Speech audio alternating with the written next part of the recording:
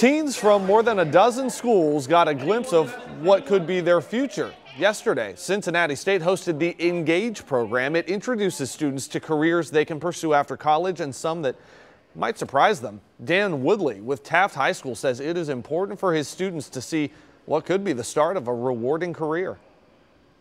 So many of them, by living in the inner city like they do, have no idea what's available for them and the opportunities they might have if they continue their education past high school. And, you know, sometimes the four-year degree is not always perfect for everyone. A lot of those uh, trade jobs are open and willing to pay. It's a great option. There were about 500 teens participating in that event yesterday.